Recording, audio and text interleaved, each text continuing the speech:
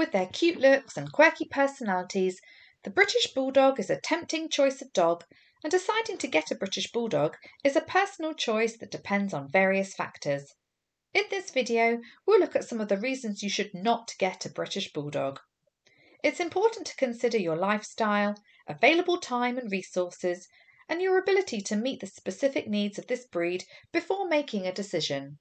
British Bulldogs are known for their distinctive appearance and unique personality traits. Here are a few key points to consider. Bulldogs are generally not very active dogs and do not require extensive exercise.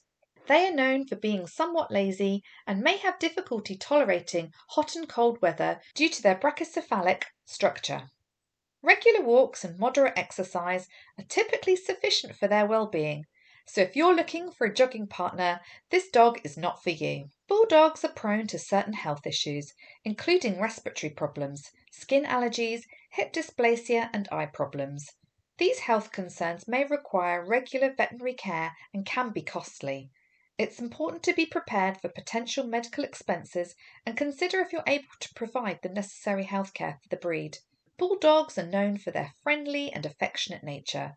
They're generally good with children and can make good family pets. However, they may require proper socialization and training from an early age to ensure they grow into well behaved and balanced adults, as they can be stubborn and set in their ways once they're mature. Bulldogs have a short, smooth coat that is relatively easy to maintain. However, they do require regular cleaning of their facial folds to prevent skin infections. Additionally, their wrinkles and skin folds may require attention to keep them clean and dry. You'll need plenty of baby wipes handy and some special bulldog products to keep them looking their best.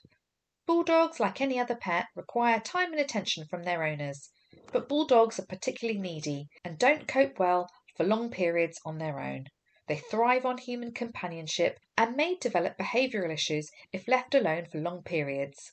Consider your schedule and lifestyle to ensure you can provide the necessary care, attention, and interaction a bulldog needs.